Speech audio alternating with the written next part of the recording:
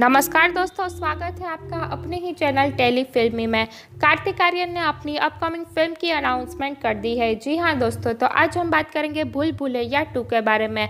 Discuss करेंगे उसकी सारी अपडेट्स को लेकर तो बात करेंगे हम उसकी story star cast release date और ट्रेलर के बारे में। Bhool Bhulaiyaa two is an upcoming Indian Hindi language comedy horror film होने वाली है। उसे डायरेक्ट किया है अनिस बजमी ने और उसे प्रोड्यूस किया है T Series and Cine One Studios ने। आगे हम बात करेंगे उसकी स्टोरी की। कार्तिक आर्यन और कियारा अडवाणी फ़िल्म के सिक्वल के साथ भूल भूलैया फ्रेंचाइजी को आगे ले जाने के लिए पूरी तरह से तैयार है। हालाँकि फ़िल्म निर्माता अनिस बजमी ने हाल ही में खुलासा किया कि दूसरे भाग में पहले फ़िल्म के साथ कुछ भी समान नहीं होगा। रिपोर्ट्स के मुताबिक अक्षय कुमार और विद्या बालन स्टारर भूल भुलैया टू के उलट साइकोलॉजी स्टारर नहीं होगी दरअसल निर्देशक ने खुलासा किया कि फ़िल्म एक भूत की कहानी होने वाली है उन्होंने यह भी कहा कि दूसरी फ़िल्म वहाँ से शुरू भी नहीं होती जहाँ पिछली फ़िल्म खत्म हुई थी। आगे विस्तार में अनिस बजमी ने कथित तौर पर कहा कि निर्माता फ्रेंचाइजी को पुनर्जीवित करने के इच्छुक थे और इसलिए वे इस नाम के साथ आगे बढ़े। उन्होंने यह भी कहा कि क्योंकि उन्हें शीर्षक पर खतरा उतरता था। इसलिए कुछ सामान्य तत्व होने चाहिए, जैसा कि भूल भुलैया नाम का उपयोग भूल भुलैया का वर्णन करने के लिए किया जाता है।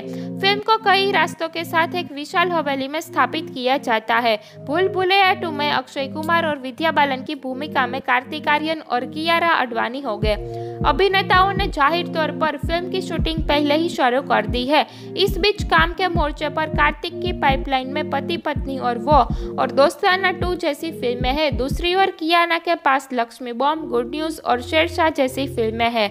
इसके बारे में बोलते हुए उन्होंने कहा कि फ़िल्म का एक बड़ा हिस्सा राजस्थान में शूट किया जाएगा। हमने मुंबई में एक छोटे से हिस्से की शूटिंग की है और अब जयपुर के लिए आगे बढ़ेंगे।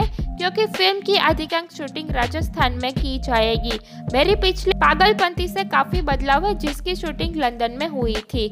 आगे हम बात करेंगे उसकी स्टार कास्ट की। तो दोस्तों, ये एक मल्टी स्टारर होने वाली है।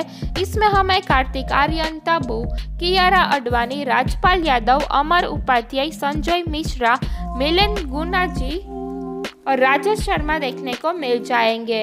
आगे हम बात करेंगे उसकी रिलीज़ डेट की। यह फ़िल्म मूल रूप से 31 जुलाई 2020 को सिनेमा घरों में रिलीज़ होने वाली थी, लेकिन कोविड 19 महामारी के कारण इसमें देरी हुई। फ़िल्म 20 मई 2022 को रिलीज़ होने वाली है। तो फ्रेंड्स, ऐसे ही वीडियो देखने के लिए अगर आपने मेरी चैनल को सब्सक्राइब नहीं किया है तो कर दीजिए ताकि मुझे ऐसे ही वीडियो बनाने के लिए मोटिवेशन मिलता रहे। Please like share and subscribe my channel press the bell icon for more updates मिलते हैं अगले वीडियो में. तब तक के लिए टेक केयर बाय बाय